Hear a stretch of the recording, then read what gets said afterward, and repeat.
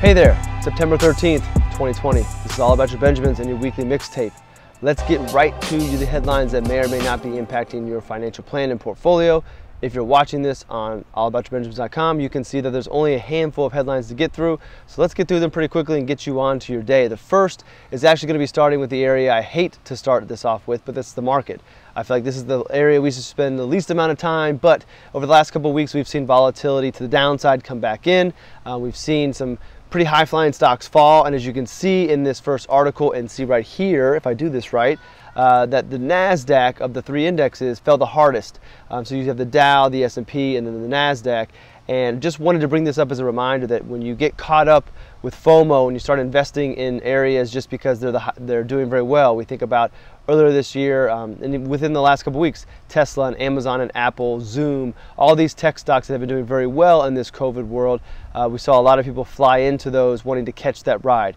Is the ride over? No one's going to know, but I just want you to remember that uh, you don't get those high rewards without taking on more risk. So uh, you got to be prepared to ride the roller coaster both up and down, and hopefully you can avoid catching it at the top uh, and then falling all the way down. And if you do fall all the way down, uh, you have to evaluate whether or not it makes sense for you to get off that ride or do you want to try to ride the next wave up, uh, which is why trying to time the market, trying to time stocks, buy, buying in and out is a tough thing to do and why a lot of us um, in, in my profession as advisors would rather have a buy and hold approach um, dollar cost average in with your savings, but not try to pick the tops and the bottoms because it's a hard thing to do consistently. Doesn't mean you can't do it. Doesn't mean it's right, not right for some people, but just means it's harder to do. It may not be the best approach. So um, that's about it. I want to talk about the market. Just wanted to point that out. Uh, you know, I saw in conversations or heard in conversations uh, a little bit of wanting to get into these stocks and not miss these great opportunities.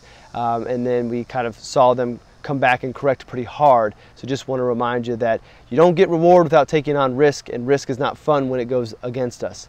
Uh, moving on to the next one, you know, we are, I'm a believer in global investor, global uh, investing, so having a diversified global portfolio. So we need to take a look at not just the US, but what's going on elsewhere. And there's some data that came out of the UK that shows that global growth uh, may be beginning to slow or having trouble uh, continuing its run coming out of the economic slowdown for everybody. So um, do you need to be making any uh, changes to anything?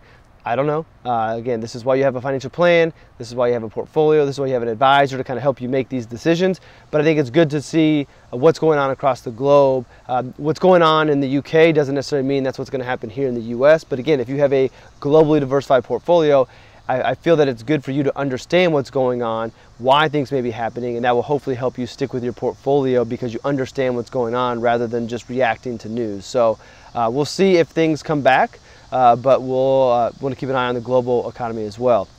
Coming back to the U.S., it's been a while since the first round of stimulus checks went out. There's been a lot of speculation about whether or not they're going to continue, and this article uh, in the, the, Wall Street Journal suggests that the stimulus checks are not going to be coming anytime soon, if at all.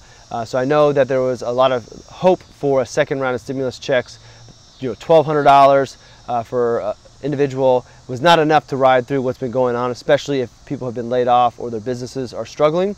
Um, so the hope was there. Doesn't look like we're going to get that. Just bring that up because it's a, a big thing that's going on, and um, you know you probably know somebody that's having a tough time. And if you have the means and you have the ability to help out, uh, this may be a good time to take that charitable inclination that you have and help people in need um, today helping them with groceries, paying bills, whatever it may be. If you want to see some inspiration on that, head over to Twitter, follow my friend Tyrone Ross, and he will show you what you need to do and how to do it. Uh, but it does not look like stimulus checks are going to be coming, at least according to this article, and we'll have to wait and see. Um, moving into uh, kind of corporate world, just I thought this was a cool headline to, to bring up. So Citigroup announced that their CEO is going to be retiring a little earlier than expected, and the successor is Jane Fraser. So she's going to take over for Michael Corbat. Yes, I have to look at this. I don't know their names by heart, uh, but she will be the first woman to lead a, lead a major Wall Street bank, uh, which is crazy in 2020 that that's a big deal, uh, but it is a positive thing to see move forward. So not a lot of commentary there, but just thought that was a neat headline to talk about. Uh, and then finally, if you remember a few weeks back, we talked about Tesla's uh, stock split. One of the reasons it was believed they were doing that was to try to put themselves in a position to be brought into various indexes. Well, the S&P 500 uh, team that is in charge of making up the index decided not to include Tesla when they made some changes. So they swapped out, I believe, three stocks, um, replaced them with other ones, but Tesla was not one of them. Doesn't really mean a whole lot, but uh, it was kind of one of the reasons we thought they might be splitting their, their, their share price was to get into these indexes. So um, yeah, so that, that, that's it on Tesla. So, uh, you know, not a smooth ending right here, but that's all right. Uh, that is all we had. So if you're watching this on allaboutyourbenjamins.com, scroll on down, take a look at this week's mixtape. If you're watching this on YouTube or Instagram TV, head on over to allaboutyourbenjamins.com, check out the blog posts, check out uh, the supporting articles to this. Um, and if you're not already subscribed, subscribe. Don't forget to head over to the YouTube channel, hit that as well. Uh, the boys tell me the cool thing to say is hit noties, which is the notifications to let you know there's been a new video posted. So with that, I will let you get to your day. Thanks for watching. Thanks for reading, and we will see you all in the next episode.